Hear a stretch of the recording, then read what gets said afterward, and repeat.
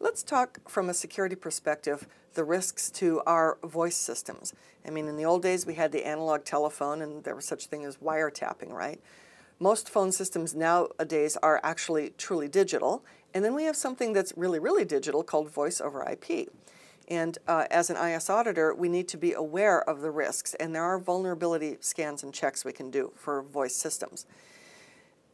Once upon a time, an office would have one phone number 1 800 555 1212, whatever the phone number was.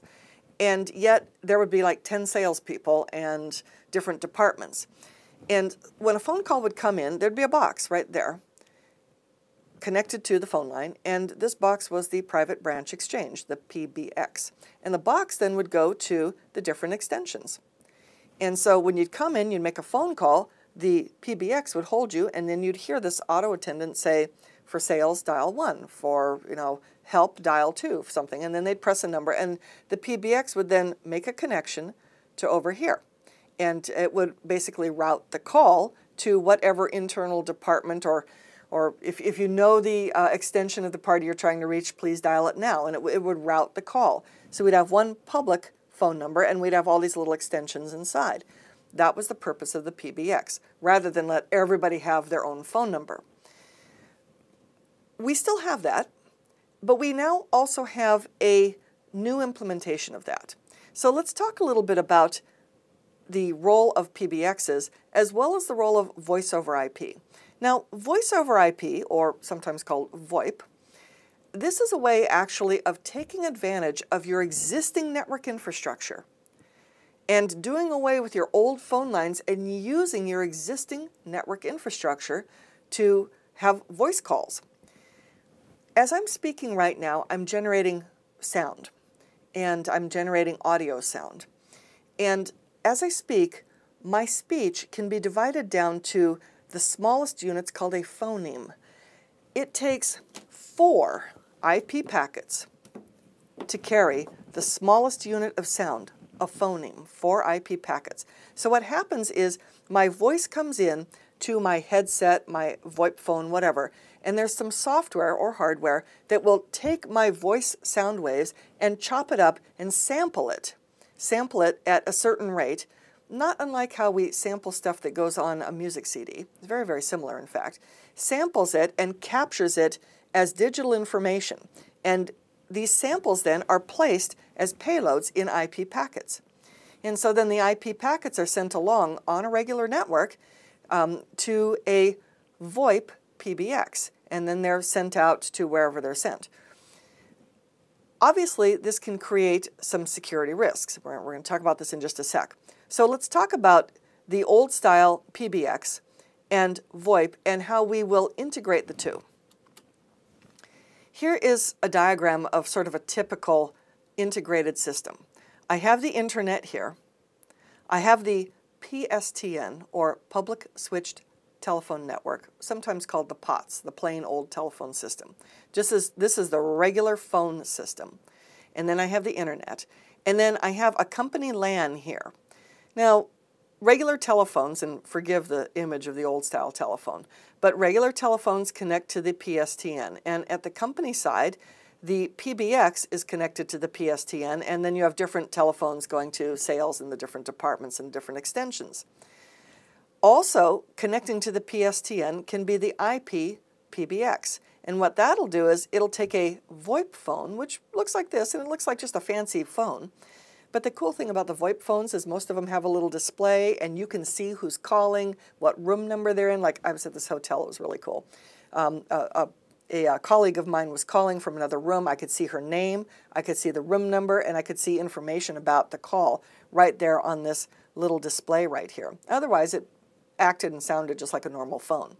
But my, my um, audio is actually not going as a regular voice circuit. It's, it's going along as IP packets like this. So we can use the existing infrastructure. Now, in reality, you're probably dedicating virtual LANs or switches specifically to voice traffic because voice traffic is critical. It's, it's real time. You don't want to be intermixing it with file downloads and emails and this and that and the other because then the voice will get lost. It'll There'll be big delays, it'll get all choppy, there'll be jitter, which is variable delay, big delays, things will be lost, and the sound quality will be terrible.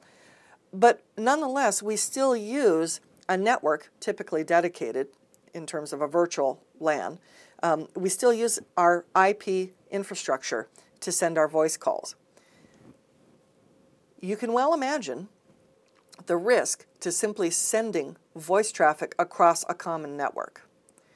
If you don't encrypt every one of these, I can very easily sneak in some little device to sniff or pick up that traffic and reassemble the voice and listen to your phone call. And um, it doesn't take much searching on the internet to hear examples of it and to see tools that you can use to do that. Most voice over IP products will now encrypt everything. So it's much harder to, to sniff that. But the original voice over IP protocols never had encryption built into them. It was something that was bolted on afterwards. So while we use voice over IP for convenience, and we can do away with our telephone system, our, our aging phone system, and just use our network infrastructure, we have to worry about performance, keeping it separate from other kinds of traffic, and also giving it always high priority, and uh, also encrypting it so that it can't be sniffed even in our own internal network. So these are the risks here. Now, it is possible, of course, to send voice over IP out through your firewall into the internet to be received by someone else. I just want to make a comment right now. If you choose to send voice over IP over the internet, because there is plenty of packet loss on the internet, because just of the complexity of the internet and routers get congested and whatever, you can expect a call quality to actually be very poor if you use the internet. I know a lot of businesses want to use the internet so they don't have to pay for a dedicated line from here to there, and they'll use the internet you can expect a 20% packet loss. Um, and I got to tell you, from a human listening perspective, we notice at 1%. Now, there are all kinds of packet loss concealment techniques to make up for that, but uh, you can expect choppy calls, poor quality, and you can also expect huge amounts of latency. Anyone who has ever used a headset to make a Skype call, which is a VoIP product, it's a free VoIP product, where you just use a headset and uh, you use your computer to digitize your voice and send it. Anyone who's ever done that knows that just at any given moment, the call quality can be poor because you never know what's happening to your packets as they go across the internet. So just realize that, that there can be performance issues. But businesses still like to use it because you save so much money. Also, not only the performance, but there's also going to be the um, uh, the security issues as well. You've got to make sure that it's encrypted and there are the performance issues.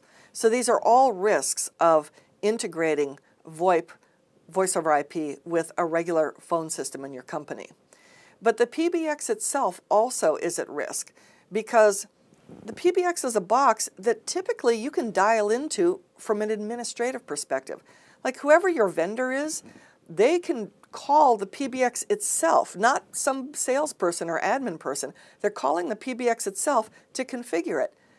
So many people leave those PBXs left in a default configuration. It doesn't take much searching on the internet to figure out default passwords and default codes to get into these things. And I mean, I've even seen financial institutions that had their PBXs hacked.